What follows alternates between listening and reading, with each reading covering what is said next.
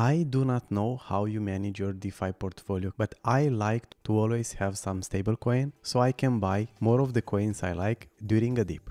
I think somewhere between 10 and 20% is a decent approach depending on how risk averse you are. Hey friends, Petru here, welcome back to blockchainFi. In this video I'll go over my favorite stablecoin farms on the Fantom network.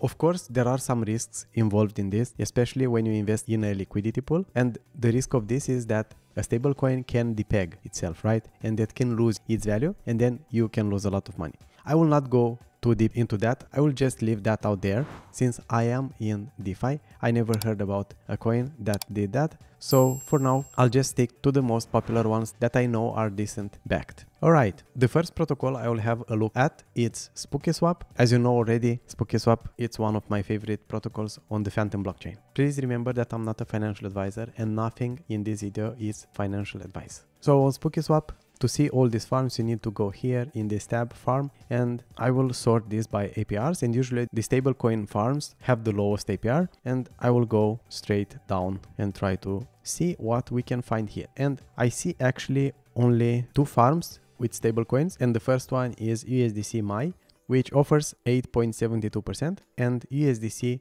TUSD, which offers close to 11%. And we see that the total value locked in, it's quite decent for this one as well. So on SpookySwap, looks like the best one to go for is this one right here, USDC TUSD. Yes, that's it. Now let's move forward to Beethoven X. Here I clicked on this tab right here, stablecoin pools. And if I sort this after APR, we can see what we have here. The largest one is this one right here, SteadyBits Earn Boosted, which offers 14.63% APR. And this one has DAI and uh, USDC in it. So this would be the best one actually to use. I do not know though for how long is going to last because maybe it's boosted just for a short period of time i don't know. But also the pool value is the second largest in this category so it's definitely a good one. If i would not consider this one then the next one is this usdc usdt and MIM but of course as long as this one right here will have the highest apr i will definitely use this one and follow closely and see if this apr will drop. All right so so far the best apr we have is this one right here close to 15 percent. Now the next one I will go to it's Spirit Swap and if I order this by APR and go down the page we can see this one right here Frax USDC liquidity pool with 20.77% APR. Now let's see something else. Yeah, MIM USDC also has above 10%, but this one is better. And the liquidity in both of them, it's quite close. So no reason to go in this one instead of this one right here. So Frax USDC. So that's it. Frax USDC liquidity pool for 12.77%.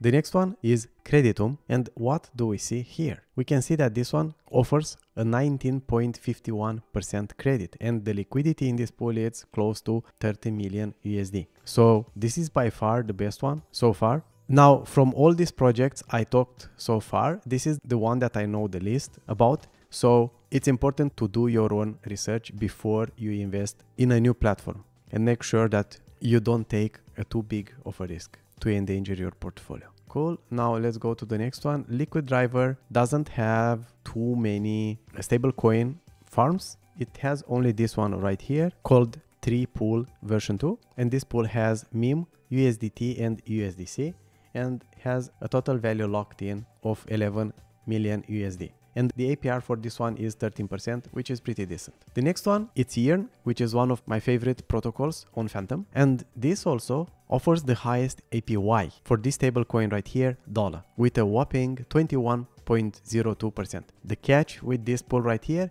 is that the total value locked in, it's quite low. It's only $1 million. So if you compare this with the MIM one, which is at $23.52 million, then it's a quite big difference. I would expect for this APY right here to drop more if it gets closer to this value right here because MIM is more popular and more used, right? And it can generate more fees. So even though this pool right here offers this very high APY, I would choose this one over that one because of the liquidity in this pool, which is close to $30 million, which is even higher than what you have in this MIM pool right here. Now, what is nice about this one is that you have only one asset. At the same time, the risk can be higher because it's only one asset, right? If it becomes depegged, you don't have another asset that you can still weather off some of the loss, right? You just lose everything. But at the same time, if you really believe in this token, in MIM, you are protected from another token that you might not trust that it can hold the peg, right? So depends how you look at the situation. I see MIM as a quite solid stable coin, so I would definitely go for this pool right here without any doubt, at least for now. So yeah, there's that. Now, if you are more adventurous and you want to involve some leverage in your trading, but this is much higher risk, you can lose your assets because you will use leverage and you can get liquidated. I do not use this platform yet and I do not recommend you to do it without doing a very in-depth research before to be sure what you are doing. We can see here you can go as high as 43% with this one, but it's 10x leverage, which I guess it will leave very little room to fail for this farm right here, right?